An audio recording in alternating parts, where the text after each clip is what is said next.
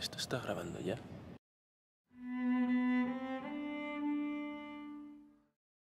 Muy buenas a todos, bienvenidos a Mil Días, vuestro canal de historia militar de la Guerra Civil Española.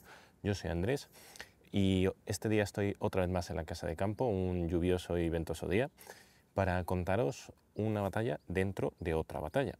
Recordamos que eh, ya tenéis disponible el vídeo de la operación Garavitas y os comenté que el siguiente vídeo sería precisamente sobre esta operación y para ello vamos a visitar diferentes lugares. Como es una operación mmm, relativamente grande, la voy a dividir en tres partes. Vamos a cubrir los eventos del flanco izquierdo, donde nos encontramos hoy, del centro y del lado derecho del dispositivo ofensivo republicano.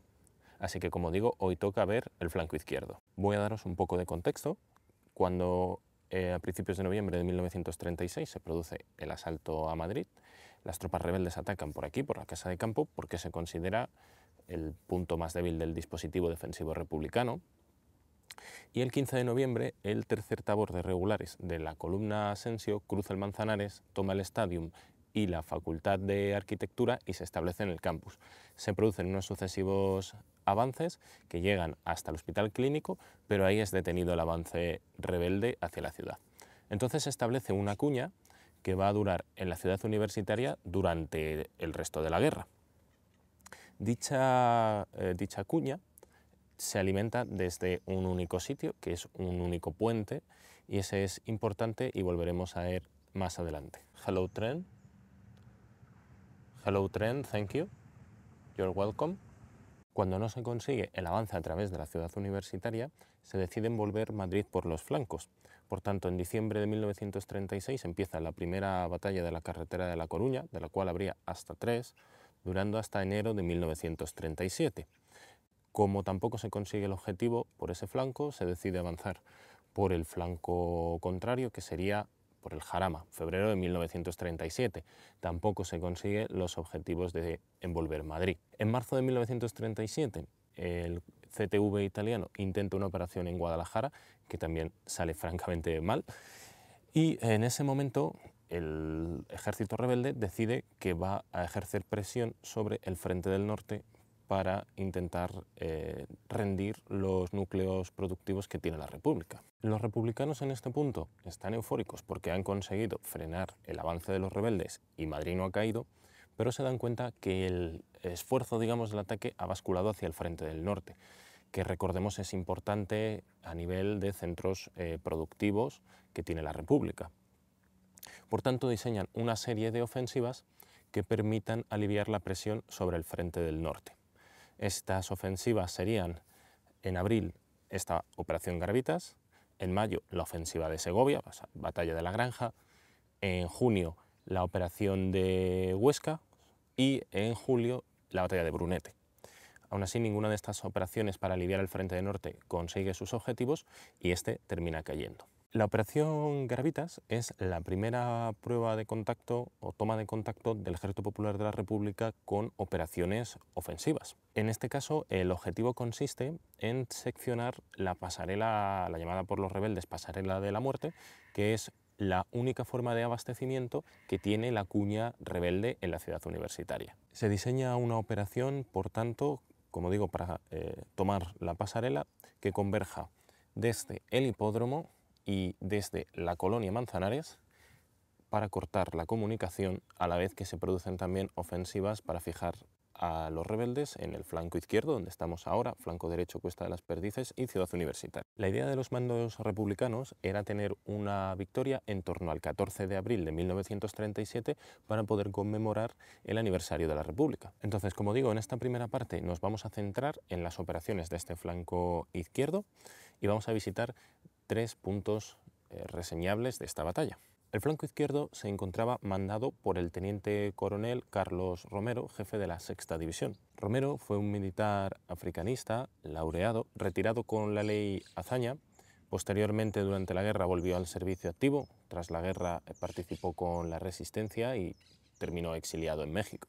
Bajo su mando tenía dos agrupaciones, por un lado la del mayor Etelvino Vega, que consistía en dos batallones de la 68 Brigada Mixta, dos batallones de la 75 Brigada Mixta, un batallón de reserva y cuatro carros de combate. Entelvino fue un eh, comunista asturiano que ascendió en la escala de milicias y fue fusilado al final de la guerra en Alicante. Y la otra agrupación estaba al mando del mayor Jesús Martínez de Aragón, pero como Martínez de Aragón tenía que atacar desde el flanco izquierdo hacia la colonia del Manzanares, entre otros puntos, dejaremos su unidad para el próximo vídeo. Vega tenía como primer objetivo de operaciones tomar la Casa del Renegado y la Cota 650, para en, en un segundo movimiento confluir con las tropas del mayor Martínez de Aragón y tomar el Cerro Gravitas. Frente a ellos estaba la primera división, mandada por el coronel Irureta Goyena, la zona de la casa de campo estaba defendida por la primera brigada de Serrano, la zona de Aravaca, Cuesta de las Perdices, por la segunda brigada de Losas y la zona de la ciudad universitaria, la propia Cuña, por Ríos Capapé, y esa era la, la brigada de vanguardia. Empezaremos este vídeo viendo los restos de la Casa del Renegado, donde me encuentro actualmente. Se trataba de una antigua construcción que servía como referencia divisoria administrativa. Aunque la ofensiva estaba planeada para el jueves 8 de abril, no comenzó hasta las 5.10 horas del viernes 9, por retrasos en agrupar las tropas necesarias para la operación. Los republicanos efectuaron en este sector un ataque de distracción con la voladura de una mina en el barrio de Carabanchel, mientras que esta posición es atacada por sorpresa gracias a una maniobra de infiltración por el primer batallón de la 75 Brigada Mixta y el apoyo de un batallón de reserva. Pero tras durísimos combates a corta distancia, la posición no cae en manos republicanas, por lo que no se cumplieron los objetivos previstos.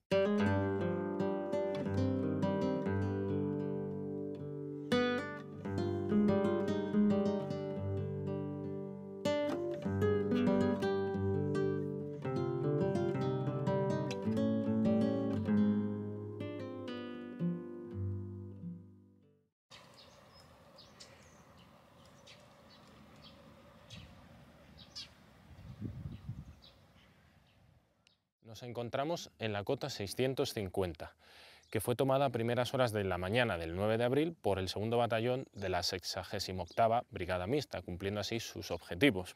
Se fortificaron en la dirección del cementerio de empleados, mientras que el primer batallón de esa misma brigada avanzaba hacia el Cerro Garavitas con la intención de tomarlo. Con esta posición tomada, y si se hubiese tomado el Cerro Garavitas, se amenazaría seriamente el dispositivo de suministro de la ciudad universitaria, que pasaba muy cerca de aquí.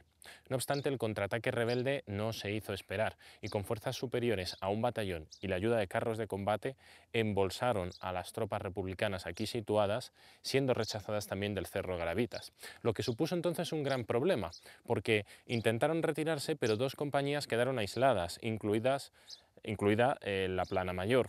Advertido el mando de la sexta división del peligro que corría las tropas de la 68 Brigada Mixta, efectúan fuego de artillería sobre la Casa del Renegado y otras posiciones rebeldes para permitir la retirada de las tropas republicanas. Como los republicanos no consiguen tomar la Casa del Renegado y son expulsados de esta posición y tampoco cae el Cerro Garavitas, se dan por concluidas las operaciones en este flanco. Esta defensa fue muy celebrada por las tropas rebeldes, ya que en un momento estuvo muy amenazado su sistema de comunicación. Y después de haber visitado la Casa del Renegado, la Fuente de las Siete Hermanas y la Cota 650, damos por terminado este primer vídeo de la Operación Garavitas.